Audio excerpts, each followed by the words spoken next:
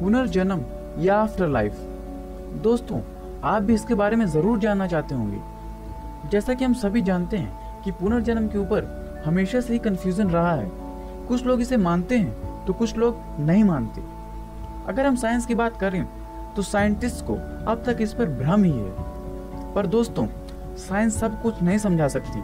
खासकर जीवन और मृत्यु से रिलेटेड चीज़ों पर साइंटिस्ट हमेशा से ही कंफ्यूज रहे हैं। हालाँकि कुछ ऐसे साइंटिस्ट भी हैं जिन्होंने इन बातों को सच माना है, पर फिर भी। साइंस जिन चीज़ों को नहीं समझा सकती, उसे स्पिरिचुअलिटी यानी कि आध्यात्मिकता से समझा जा सकता है। मैं साइंस से इनकार नहीं कर रहा, पर इस चैनल पर हम आपको साइंस से भी आगे की बातें बताते हैं। तो दोस्तों, चलिए शुरू करते हैं। जैसा कि हम जानते हैं, हिंदू धर्म के अनुसार मनुष्य का सिर्फ़ शरीर मरता है, आत्मा कभी नहीं मरती, यानी कि आत्मा अमर है। इसी प्रकार बौद्ध धर्म के मुताबिक ये जन्म और मृत्यु का चक्र एंडलेस होता है, यानी कभी ना खत्म होने वाला। अगर आप कर्म, यानी मनुष्य के अच्छे बुरे कर्म में विश्वास करते हैं तो आप ये जानते होंगे कि अगर हम अच्छे कर्म करते हैं तो हमें इंसान का जन्म मिलता है। पर यदि इंसान बुरे कर्म करता है तो उसे किसी न किसी जानवर के रूप में जन्म मिलता है। एक मान्यता के अनुसार, आत्मा को तब तक किसी जानवर के रूप में रहना पड़ता है, जब तक उसके पाप कर्म उसके पुण्य कर्म से पूरी तरह से बैलेंस नहीं हो जाते। इसके बाद ही आत्मा वापस मनुष्य के रूप में जन्म ले पाती है। आत्मा एक शरीर को छोड़कर दूसरे शरीर के रूप में जन्म लेती है। इसी को पुनर्जन्म री इनकारनेशन या आफ्टर लाइफ भी कहा जाता है। ये तो सभी जानते हैं कि नया जन्म लेने के बाद इंसान को पिछले जन्म का कुछ भी याद नहीं रहता।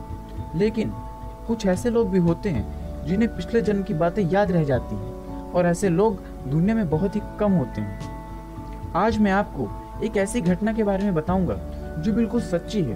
तो दोस्तों, इस वीडियो को अंत तक ज़रूर देखिएगा, ताकि आपको सब समझ में आ सके और आपके मन में पुनर्जन्म को लेकर जो डाउट्स हैं, वो पूरी तरह से क्लियर हो सकें।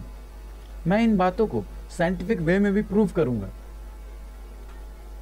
ये घटना है आगरा में रहने वाले एक post master P N Bhargava की, जिनकी एक बेटी थी, जिसका नाम मंजू था।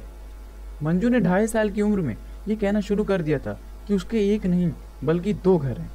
और उसने इस बात को अपने परिवार वालों को भी बताया।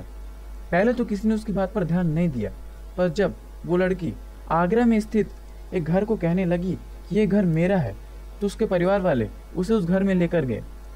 उस घर के मालिक से बात करके मंजू ने उन्हें कुछ ऐसी चीज़ें बताई जो सिर्फ़ उस घर के लोगों को ही पता थी। बाद में पता चला कि उस घर के मालिक के एक रिश्तेदार का निधन उन्नीस सौ बावन में हुआ था। उसने ही मंजू के रूप में दोबारा जन्म लिया था। ऐसा ही एक इंसिडेंट है रशिया में रहने वाली टैटी वैलू का जो बचपन से ही 120 लैंग्वेजेस जानती थी। उनके मुताबिक उन्होंने ये भाषाएँ पिछले जन्म में सीखी थी। ये कहानियाँ सुनकर शायद आपको लग रहा होगा कि ये सब मनगढ़ंत है। पर दोस्तों, विश्वास कीजिए, ये दोनों कहानियाँ बिल्कुल सच्ची हैं। अब मैं आपको साइंटिफिक वे में भी पुनर्जन्म को साबित करके दिखाता हूँ। दोस्तों, आत्मा क्या है? दरअसल, आत्मा एक प्रकार की एनर्जी है, जो हमारे शरीर को फंक्शनल रखती है। आत्मा को भी एनर्जी मान लिया जाए तो एल्बर्ट आइंस्टाइन की एक थ्योरी के मुताबिक energy can not be created और destroyed it can be only change from one form to another इस कॉन्सेप्ट को आत्मा के केस में लगाने पर ये साफ़ हो जाता है कि आत्मा कभी डिस्ट्रॉय नहीं हो सकती, यानी कि खत्म नहीं हो सकती। इसको भी एक फॉर्म से दूसरे फॉर्म में ट्रांसफ़र किया जा सकता है। यानी कि एक शरीर से दूसरे शरीर तक। अब तो शायद आपको ये बात क्लियर हो रही होगी, क्योंकि ये साइंस का बहुत ही बेसिक सा लॉ है, जिसे law of conservation of energy भी कहा जाता है। इसी बात पर रिसर्च करते हुए अमेरिकन डॉक्टर स्टुअर्ट हैमरऑफ और British physicist sir Roger Penrose ने quantum theory of consciousness develop की, जिसके मुताबिक आत्मा यानी कि हमारे ब्रेन सेल्स में मौजूद माइक्रोट्यूब्यूल्स में स्टोर्ड इन्फॉर्मेशन इस एक्सपेरिमेंट में साबित हुआ कि जब इंसान मरता है, तब माइक्रोट्यूब्यूल्स अपनी क्वांटम स्टेट खो देते हैं, यानी कि उनकी मात्रा कम हो जाती है।